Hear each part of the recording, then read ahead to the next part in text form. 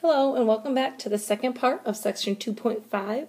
Uh, if you recall, we were dealing with the zeros of polynomial functions.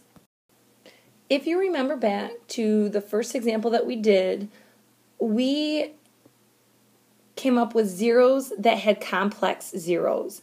Now, within those complex zeros, if you notice, we actually had the conjugates. So if we had an a plus bi, then we also had a zero at a minus bi. And that's exactly what the conjugate zeros and conjugate pairs rule says. It says that if we have a polynomial function that has real coefficients, and we know that a plus bi is a zero of a function, then we can automatically assume, or we should also know, that a minus bi is also a zero of the function. So, example 6 says to find a third degree polynomial with integer coefficients that has 2, 7i, and negative 7i as the zeros. So what I would do is I would start out with the complex pieces first. You know that x equals 7i and x equals a negative 7i. Well, we need to convert these over to factors. If x equals 7i, then that means that x minus 7i was a factor. And likewise, if x equals a negative 7i is a 0, then we know that x plus 7i is also a factor. And while we're doing this, we also might as well deal with x equals 2. So this tells us that x minus 2 is also a 0. Now we'll deal with this one here in a second. Right now I want to deal with the complex zeros first. And the reason is, is if I deal with those first and I multiply those two together, I'm going to get rid of my complex numbers. So, I have x plus 7i, and I'm going to multiply that by x minus 7i. When we do that, we end up with x squared minus 7i plus 7i and then minus 7i squared. Our positive and negative 7i's in the middle are going to cancel out.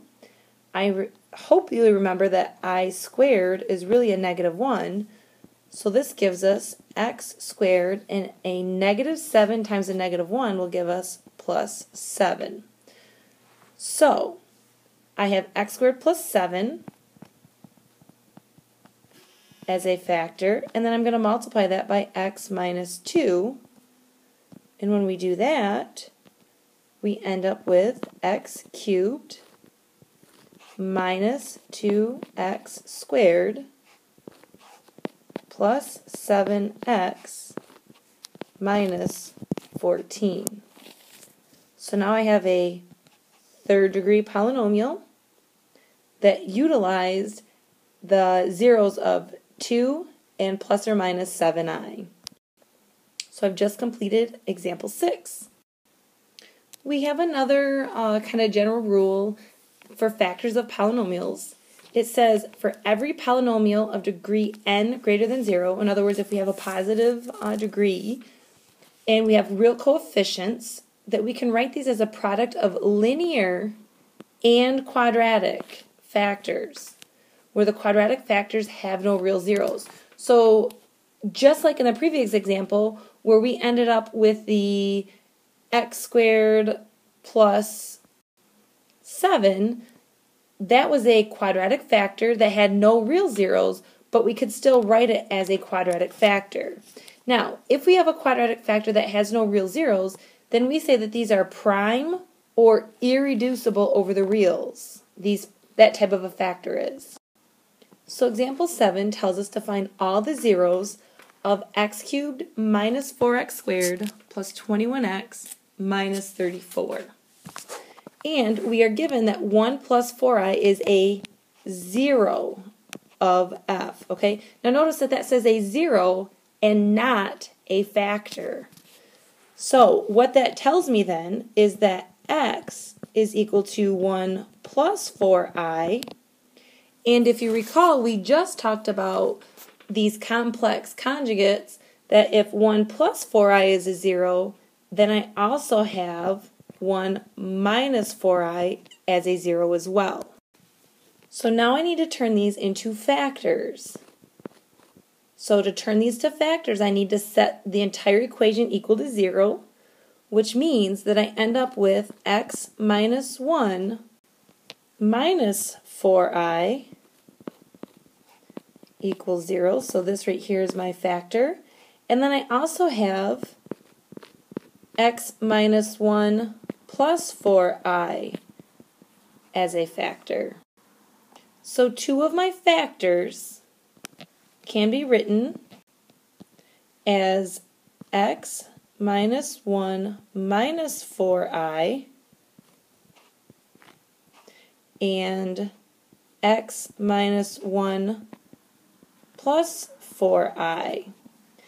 Now, if I go ahead and I group my real pieces together, which would be the x minus 1 in both cases because the plus and minus 4i are the complex pieces, and I treat these as two products of binomials because this is my real piece and this is my complex piece, just like this is my real piece and this is my complex piece. So if I go ahead and multiply those together, I'm going to multiply my real pieces, and you can FOIL this, the whole thing. If you FOIL, you get your middle terms to be a plus 4i times x minus 1 and minus 4i times x minus 1. So the middle terms are going to cancel. So essentially what we're going to end up with is x minus 1, the quantity squared, and let's just go ahead and we'll factor it as a binomial, plus 4i times a quantity of x minus 1 minus 4i times a quantity of x minus 1 minus 16i squared. So again, as we mentioned earlier, your middle terms are going to cancel because you have a plus and a minus of each. And we're left with x minus 1, the quantity squared, minus 16, well, I'm multiplying that 16 by i squared, which is a negative 1, so negative 16 times a negative 1 really becomes a plus 16. So if I go and simplify this, I'm now left with x squared minus 2x plus 1 plus 16, which gives us x squared minus 2x plus 17. Now this is my quadratic factor, and because it's quadratic, I need to go until I find a cubic function. So I'm going to take and do long division. And I'm going to use my quadratic factor that I just found. So x squared plus 2x plus 17. And I'm going to divide my original function, which was x cubed minus 4x squared plus 21x minus 34 by that quadratic factor. So to do that, x squared goes into x cubed, x times, that's going to give us x cubed, and this here should be a minus, not a plus, because we had the minus up here. So negative 2x times x will give us a negative 2x squared, and 17 times x will give us plus 17x. Hug that with parentheses, slap a negative on it, and distribute. So now my x cubes cancel. I'm left with a negative 2x squared plus 4x, and then I'm going to bring down that 34. And I start the whole process over again. x squared goes into a negative 2x squared, minus 2 times to give us negative 2x squared. Negative 2x times a negative 2 will give us plus 4x. And 17 times 2 will give us a negative 34. Hug it with parentheses, slap a negative, distribute that negative, plus, minus, plus, make this an addition. These cancel out. These are going to cancel, and these are going to cancel to leave you with a remainder of 0. So what that tells us then is our linear factor is x minus 2, and our quadratic factor is x squared minus 2x plus 17. Now, our original function said to find all of the zeros. So our zeros are x equals 2, and then we have the 1 plus 4i, as well as the 1 minus 4i that was given. Now that completes our problem. So now example 8 says to write f of x as the product of linear factors and list the zeros. So the first thing we're going to do is we're going to use our rational zero test, which is p divided by q. That's going to give us plus or minus 1, plus or minus 2, plus or minus 4, and plus or minus 8, all divided by plus or minus 1. So my possible zeros are plus or minus 1, plus or minus 2, plus or minus 4, and plus or minus 8. So I have a total of 8 real zeros possible. Now, if we use our calculator to help us out, I found that I have one zero at x equals 1. So I'm going to use synthetic division with that. And I have 1, 0x to the fourth terms, 1x cubed term, 2x squared terms, a negative 12x terms, and 8 constant terms. So I'm going to bring my 1 down. This gives me 1, 1, 1, 2, 2, 4, 4, negative 8, negative 8, and 0. Or I end up with x to the fourth plus x cubed plus 2x squared minus, I'm sorry, plus 4x minus 8 equals 0. So, again, I'm going to use my calculator, and you can either graph your original function and look for another 0, or you can go ahead and graph this function and find the zeros of that. So if I do synthetic division again, I'm going to use my coefficients 1, 1, 2, 4, negative 8. I see that I have another 0 at x equals a negative 2. So I'm going to bring negative 2 out here, pull my 1 down, and I've got 1, negative 2, negative 1, 2, 4, negative 8, negative 4, 8, and 0. So now for a function, this produces my remainder, my constant, x squared cubed. So I have x cubed minus x squared plus 4x minus 4 equals 0. So right now my zeros are at x minus 1, x plus 2, and x cubed minus x squared plus 4x minus 4. We can actually group this factor here. So when we do that, let's just look at this right here. I can factor a x cubed out of, I'm sorry, an x squared out of the first term. So I have x squared times x minus 1 and I can factor a 4 out of that term. So I have plus 4 times x minus 1. So then this is going to give me x minus 1, which is the common factor between each term, and then I'm left with x squared plus 4. Now, this is also being multiplied by x plus 2 and x minus 1. Now because this problem wanted linear factors, this term, this term, and this term, these are all linear factors. However, this one here is not. So let's see what x, what x actually equals at this factor.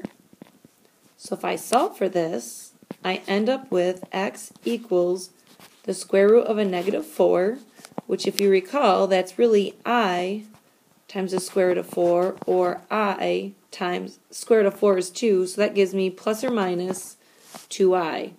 So I can rewrite that factor now as, and let me write the first ones first, so we end up with x minus 1 times x plus 2 times x minus 1 times x plus 2i times x minus 2i. And I'm getting these two factors from this right here. These are all linear factors now. The only other thing we have to do is actually write the zeros. And that means that x is equal to 1, negative 2, 1 which I've already gotten here, and plus or minus 2i. So these are all of the zeros of this problem. Now, we have another test to kind of help us narrow down the types of zeros that we're going to get. If you recall, when we go and we do the rational zero test, this gives us plus or minus a list of numbers. Now, what this um, rule of signs is going to give us is it's going to tell us whether we have positive real zeros or negative real zeros. We can identify if we have real zeros by looking at the number of variations in the sign of f of x. Our positive real zeros are going to equal the number of variations in signs or be less than that number by an even integer. So in other words, if I have six variations in signs, and we're going to look at this in a second, but if I have six, then that means I can have either six positive real zeros, or the less than that number by an even integer would be two or four positive real zeros, because two and four is less than six by an even integer. Now, on the other side, if I have a negative real zero, I have to look at the number of variations in the sign of f of a negative x. So in other words, I'm changing the sign of the x value, and that's going to equal be equal to the number of variations of f of negative x or less than that number by an even integer. And when we're talking about variation in signs, we're talking about two consecutive coefficients. And if I go from plus to a minus, that's a variation of sign. If I'm going plus plus or minus minus, that is not a variation of sign. So let's look at an example to see what this looks like. Example 9 wants us to describe the possible real zeros of this function of f. So, for the positive real zeros, we're going to look at the variations of sign. So I have a negative to a positive, a positive to a negative, and a negative to a positive. This gives me three variations in signs. So I'm going to put 3 delta um, plus or minus for three changes in sign. Okay, so that means I can have either three positive zeros or 3 minus 2, because 2 was the next even integer, um, that would give me 1 positive 0. So either all three are going to be positive or I'll have at least one positive zero. Now to look at the negatives, what I'm going to do is I'm going to plug in a negative x. So I have to evaluate f of x at a negative x. And this is going to give me a negative 2 times a negative x cubed plus 5 times a negative x squared minus a negative x plus 8. So when I go to simplify this, this gives me a negative x to the third is going to give me a negative x cubed, and a negative x cubed times a negative 2 is going to give me a positive 2x cubed, plus a negative x squared is going to give me a positive x squared, so that's going to give me 5x squared, and I have a negative negative x, which is going to give me plus x plus 8. So if I go and I look, I have no sign changes there, none there, and none there. So I have no sign changes. And because I have no sign changes, this tells me that I have no negative zeros. So if I do my rational zero test and I see that I have plus or minus four or five numbers or whatever I've got, I can now go and eliminate all of the negative possibilities because I have no sign changes right here. And because I have no sign changes in my f of negative x, that means I have no negative zeros. And actually, if you graph, you'll see that you have no negative zeros. You only have one positive zero in this case. Now, the last test that we're going to have is what we call the upper and lower bound rules. Now, if we have a polynomial with real coefficients and a positive leading coefficient, and we can divide this polynomial by some factor x minus c using synthetic division, if c is a number that is greater than 0, and in the last row of our synthetic division, we have all positive numbers, then c is what we're going to call an upper bound. In other words, if I have a list of numbers 1, 2, 3, and 4, and I look at 3 and we determine 3 to be our upper bound, then that means I can eliminate 4 as being a 0. So what I'm doing is I'm kind of eliminating numbers on either side if I can. Now if the C value is less than 0 and the numbers in the last row alternate from positive to negative and negative to positive, then we say that C is our lower bound. And we're going to look at an example of this as well. So for example 10, we have to find all the real zeros. Now, if we're going to find all the real zeros, we're going to start it with a rational zero test, which is p divided by q. My factors are 3 are going to be plus or minus 1 and plus or minus 3. My factors of q are going to be plus or minus 1, plus or minus 2, plus or minus 4, and plus or minus 8. So my list of possible real zeros will be plus or minus 1, plus or minus 3, plus or minus 1 half, plus or minus 1 fourth, plus or minus 1 eighth, plus or minus 3 halves, plus or minus 3 fourths, and plus or minus 3 eighths. So this is a list of all of the zeros that this function can contain. So to use the upper and lower bound rules, what I'm going to do is I'm going to look at my variations of sign, and I see that I have a positive to a negative, a negative to a positive, and a positive to a negative. So I have three sign changes.